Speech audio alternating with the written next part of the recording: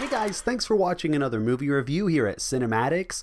I'm your host, Jordan Ross, and today I'm reviewing Blade Runner 2049. Now, this film isn't turning any heads at the box office, but honestly, I could care less about that. The original didn't do well in the box office either, but now it's a beloved classic. It's one of the most influential, visually stunning, and groundbreaking films ever made. And not just in the sci fi genre. I'm talking about movies in general. And having said all of that, Blade Runner 2049 is even better. You heard me right.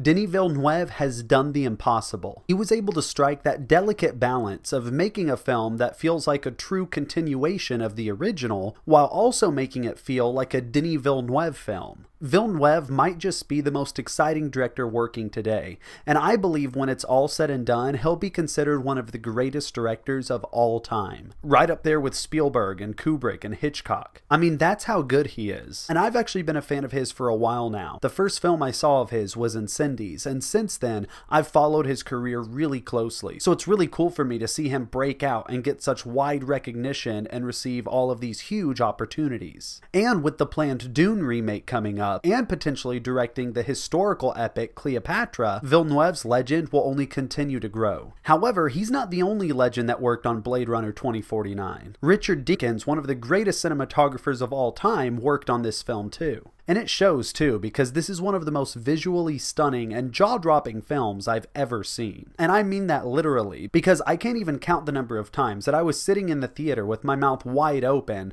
because I was in such awe at what I was witnessing on the screen. Now, Deakins has been nominated for a whopping 13 Oscars, but he's never won. That's an absolute crime. 13 nominations and zero wins. And he's been the guy behind the camera for some of the most beautifully shot films ever made. And I'll be shocked if he doesn't get his 14th Oscar nomination for Blade Runner 2049. However, I'll be even more shocked if he doesn't take home the gold this time. As great as his past work was, this movie is his crown jewel. In fact, I predicted back in May that he'd win his first Oscar for this film, so I'm really hoping that prediction comes true. Anyway, this film isn't just a visual spectacle. I mean, yes, technically speaking, it's a masterpiece, and it's worth seeing for that reason alone. However, it's also much more than that. Narratively speaking, it's one of the most faithful and satisfying sequels ever made, which is incredible considering how big of a gap there was between these two films. None of it was forced, and it didn't rely on nostalgia to keep the audience invested. It drew from certain aspects of the original and built on them in an organic way. This wasn't one of those unnecessary sequels that was only made for the purpose of making a ton of money. It felt like a movie that needed and deserved to be told. Also, as a father,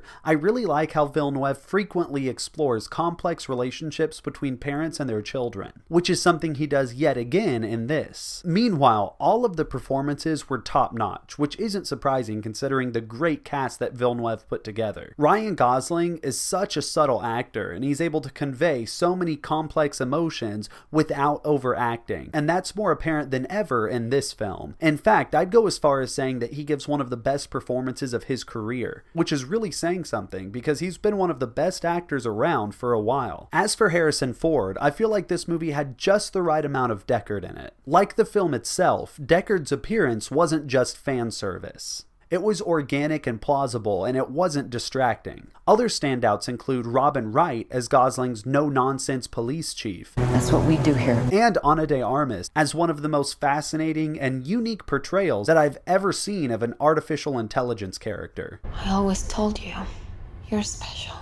Even the usually obnoxious Jared Leto was great in this. Now, some people might be scared off by its nearly three hour runtime, but its massive scope and epic story warrant that amount of time, and it really doesn't feel that long either. Anyway, this is one of the best films of the year, if not the best. It's a powerful, existential, and surprisingly emotional follow up to one of the greatest sci fi films ever made. This is going to go down as one of the best sequels of all time. So, I give Blade Runner 2049 9 out of 10 stars. Do not wait for this film to come out on video. This is a movie that deserves to be experienced for the first time in a movie theater. Anyway, what did you think of Blade Runner 2049? What did you think of my review? Let me know in the comment section.